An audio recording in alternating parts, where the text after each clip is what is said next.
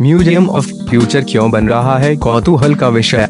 ये है museum of future यानी भविष्य का अजायब घर। इस इमारत का फ्रेमवर्क आयताकार 2400 स्टील की छड़ों से तैयार किया गया था। ये ढांचा पिछले साल नवंबर में तैयार हुआ था। तब से अब तक केवल इस ढांचे के ऊपर पैनल लगाने का काम चल रहा है।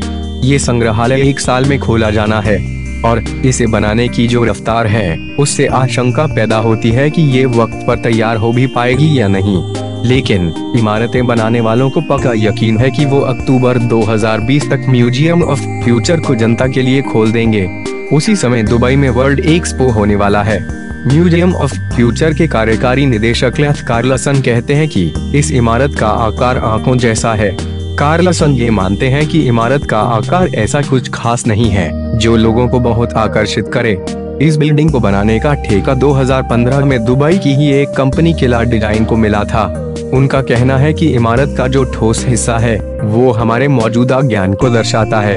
वहीं, भीतर का जो खालीपन है, वो उन चीज़ों का प्रतीक है, जो हम नहीं जानते, यानी हमारा मुस्तकबिल। संयुक्त अरब अमीरात तेज़ी से तरक्की कर रहा है। यहाँ सैकड़ों इमारतें बन रही हैं। इन सभी में ये म्यूज़ियम ऑफ़ फ्यूचर बिल्कुल अलग नज़र आता है।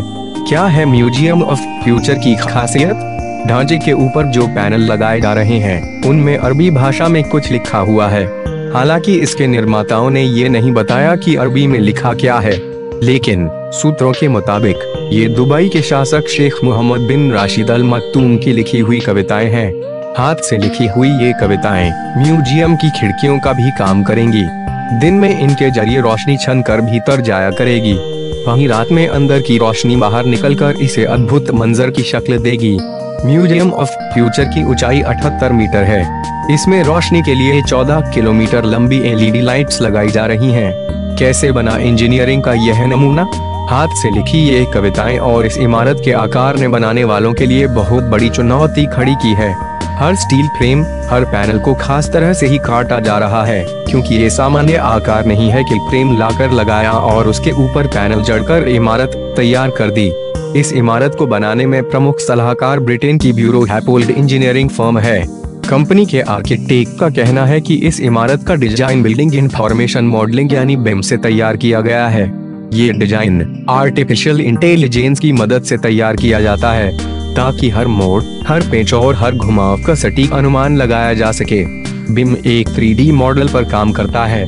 ब्यूरो है पोल्ड इंजीनियरिंग के टोबाइस बली कहते हैं कि रेखा गणित की मदद से ये खास डिज़ाइन तैयार करना कम उबेश नामुमकिन था। हमें सब कुछ डिजिटल तरीके से करना था। अगर हम हाथ से डिज़ाइन बनाते तो सोचते कुछ और बन जाता कुछ और। इस तरह से बनाना भी मुश्किल था। तकनीक की मदद से ही ये इमारत हम इतनी आसानी से बना पा रहे हैं। पहले प्रोजेक्ट डायरेक्टर ने इस बिल्डिंग का दो डी मॉडल तैयार किया। इसके लिए प्रोजेक्ट में शामिल सभी लोगों को पहले बिम को अच्छे से समझना पड़ा। सबसे पहले कंप्यूटर की मदद से इस डिज़ाइन के मुश्किल पेचों खम से निपटने की कोशिश हुई। बारीक से बारीक बदलावों को कंप्यूटर पर ही आजमाया गया। इसमें काफ़ी वक्त लग गया। हालाँकि इन्हें नंगी आँखों से नहीं देखा जा सकता। लेकिन इमारत का ढांचा तैयार करने में मिलीमीटर भर का फ़र्क भी चुनौती बन सकता था।